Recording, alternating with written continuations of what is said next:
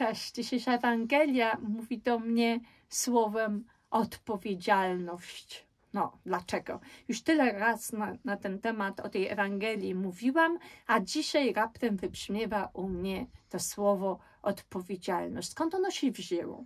No, postaram się wytłumaczyć. Idzie ten siewca, żeby posiać ziarno.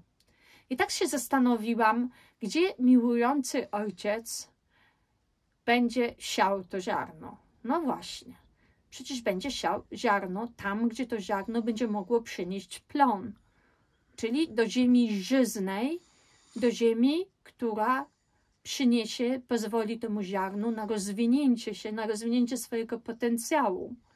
Tylko tam. No właśnie. I tak wczytałam się w ten tekst grecki i myślę sobie, to czemu on sieje nie tam, gdzie trzeba?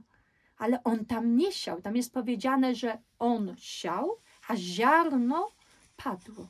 Jest użyte to słowo, kiedy człowiek właśnie zawodzi, pada, upada, upadek, grzech. Wszystko tutaj jest możliwe. On właśnie pada nie w to miejsce, które jest dla niego przeznaczone, które jest dla niego dobre.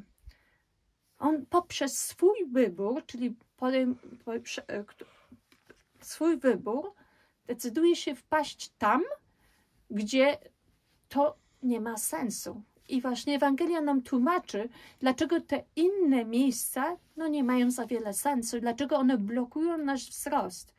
I sugerują nam, że lepiej jest wybrać inne miejsce, czyli przyjąć takie podejście do naszego życia, wziąć za nasze życie odpowiedzialność, takie podejście, które właśnie będzie aktywne, które będzie nam pozwalało wzrastać, czyli uniknąć tych podejść, które,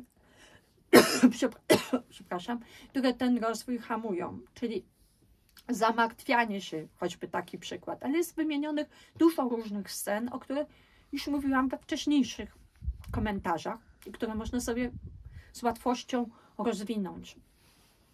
Czyli podsumowując, dla mnie słowem kluczem jest tutaj odpowiedzialność, przyjęcie odpowiedzialności do tego, jakie mamy podejście do życia. Ewangelia nie mówi o naszych społeczno-ekonomicznej sytuacji, w jakiej wzrastamy, że są niektórzy wzrastają w lepszych warunkach, niektórzy w gorszych, niektórzy mają więcej problemów na starcie, niektórzy mniej. Nie, tylko mówi o tym, jak do tych spraw i do tych trudności należy podejść, a jak raczej nie podchodzić.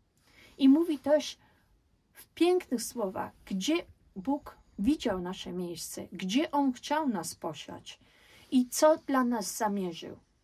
A do nas zależy to, co w gruncie rzeczy wybierzemy. Tak myślę ja, a podziel się ze mną, co ty myślisz na ten temat. Cześć.